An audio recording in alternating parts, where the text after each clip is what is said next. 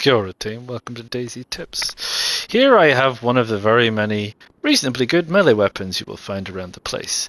The baseball bat. Who doesn't like the Louisville Slugger? But did you know you can upgrade the baseball bat? Why yes of course. If you happen to have some nails about you, you can craft a nailed bat.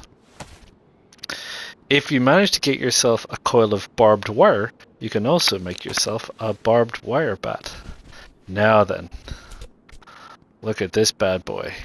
Doesn't this look like it's gonna hurt?